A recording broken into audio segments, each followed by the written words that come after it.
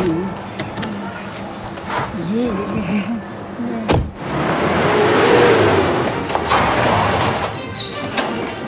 يا ابني انت هو ده عبيط يا ابني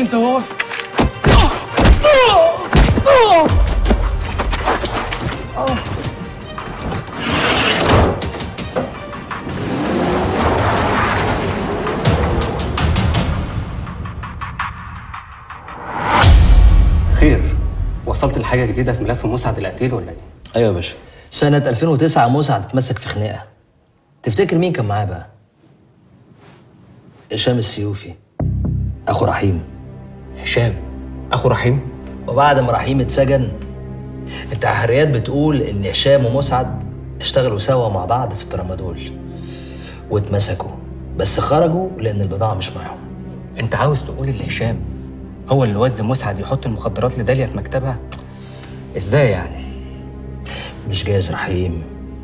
بعد ما عرف إن عماد خطب داليا حب يعمل لها حوار كبير قوي عشان يخرجها منه. بيرجعوا لربوا بعض تاني؟ مش بعيدة قوي دي.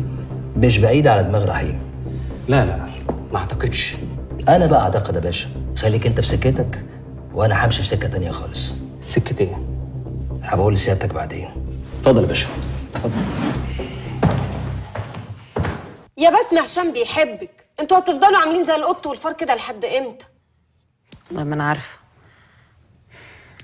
أنا كمان عارفة اللي فيكي مكفيكي يا ابن رحاب يو مش هنخلص بقى. معلش يا رحاب بس حاولي اتكلمي فهميه كده وحاولي تعقلي معلش. ألو؟ أيوه. أيوه أنا رحاب السيوفي. مين معايا؟ انت بتقولي إيه يا ست انت انت مين؟ في إيه؟ في إيه؟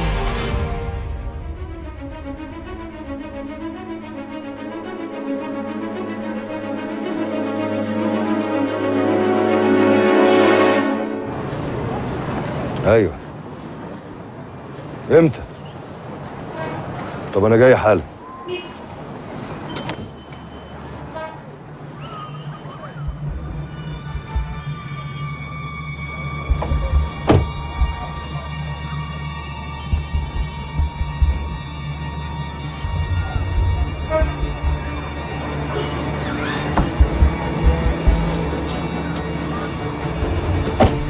في إيه؟ معرفش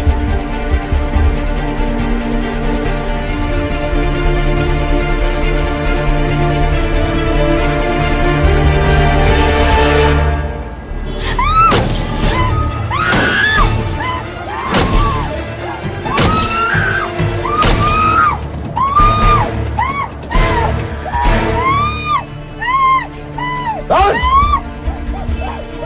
روح قول للي بعتك. عيب. ما تقول لها يالا. عيب طب يلا اطلع. اطلع!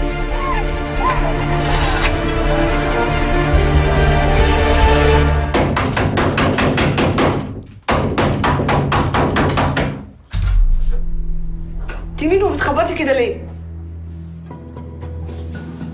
سيد! استني هنا. مش بكلمك. مين دي يا سيد؟ مين دي؟ دي يا مراتي سلمي عليها. يا نهارك أسود ومنيل ب 60 نيلة. أنت بتتجوز عليا أنا يا سيد بتتجوز عليا؟ ترمي نفسك وتكلمي بأدب بدل ما مد إيدي عليك. كمان تمد إيدك عليا؟ كمان؟ ليه يا سيد؟ ليه بتعمل معايا كده؟ كل ده عشان كرهك لرحيم؟ عايز تنتقم منه وخلاص؟ طب وأنا ذنبي إيه؟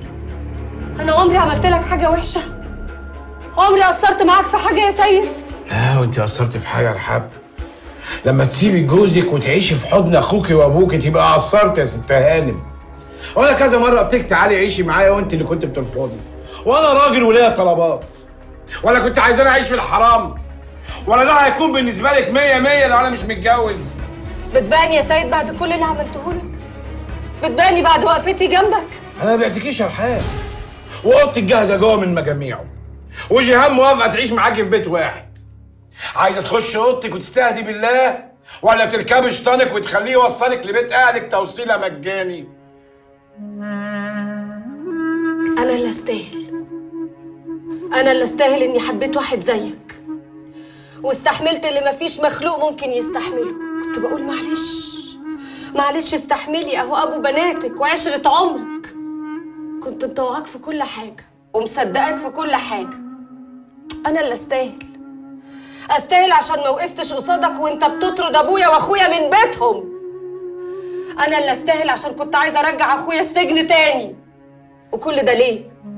عشان كنت مصدقاك. كانت دماغي فين أنا مش عارفة. كنت بصدقك إزاي؟ أنا مش عارفة مش عارفة. عشان عارف إن قد إيه بحبك يا رحاب وأنا بكرهك. بكرهك وبكره نفسي وبكره رحيم وبكره أبويا وبكرهكم كلكم.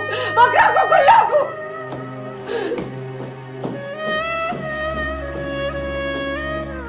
بتشوف لك حتة يا جيهان ما تنرفزنيش انت يوه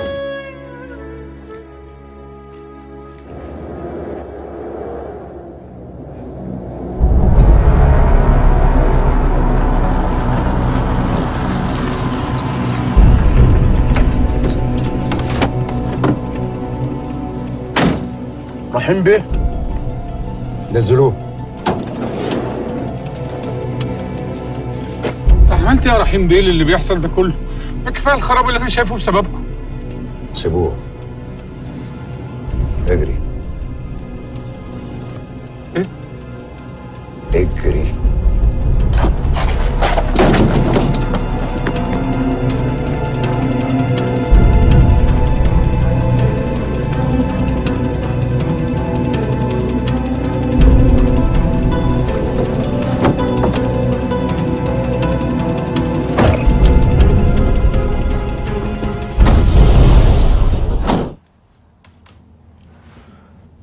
وبعدين بقى إيه المفاجأة في الليلة السوداء دي؟ هتيجي دلوقتي اصبري بس. لا مش قادرة أصبر بقى الصراحة زهقت. لو ما جاتش المفاجأة أنا عايزة أمشي. حنان اصبري هرد لك اعتبارك. الواد اللي تسبب في دخولك السجن هجيبه هنا تحت رجليكي مين ده؟ اصبري بس اصبري. ألو إيه يا ابني أنتوا فين؟ اتأخرتوا ليه؟ إيه؟ يعني إيه؟ رحيم مشاه طب ماشي ماشي ماشي خلاص خلاص خلاص يلا سلام حصل إيه؟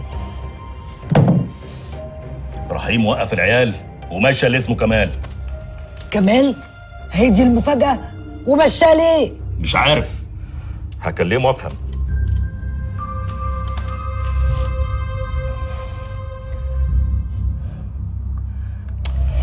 ما بيردش هو رحيم بيعمل كده ليه؟ مش عارف أكيد لما أقابله هفهم كل حاجة. أنا مش قادرة أصدق. أنا كنت فاكر إن رحيم ورا كل اللي بيجرى لك. هو اللي رادك في القضية وبعدين هو اللي قربك وبعدين هو اللي طلع لك دليل براءتك. عشان يبان قدامك البطل اللي ما استغناش عنك. بس رحيم عمره ما كان كده. أنا كنت أقرب واحدة لرحيم قبل ما يدخل السجن. عمره ما عرضني للخطر ولو لثانية واحدة. طب إزاي يعمل كده؟ وهو عارف كويس قوي إن أنا ممكن أتسجن طول عمري أو أموت فيها. تصور يحترم برضه. استني. أنا افتكرت حاجة مهمة دلوقتي. هشام اتخطف يوم خروج رحيم من السجن. وأنتي اتورطتي في القضية تاني يوم. وهشام أصلا كان لسه مخطوف. يبقى إزاي رتبوا كل ده؟ شفت؟ يبقى أنا زي ما بقول لك رحيم ملوش دعوة بالكلام ده. أيوه بس ده معناه إن في حد عايز يورط رحيم ويخليني نمشي وراه في نفس السكة. أيوه بس مين ده وهيستفيد بإيه؟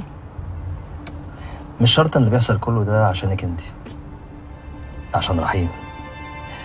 أنت الحلقة الضعيفة اللي يقدر يلهي رحيم بيها. طب ويلهيه عن إيه بالظبط؟ الأسئلة دي كلها إجابتها عند رحيم. انت هتقولي له إن إحنا بنتقابل؟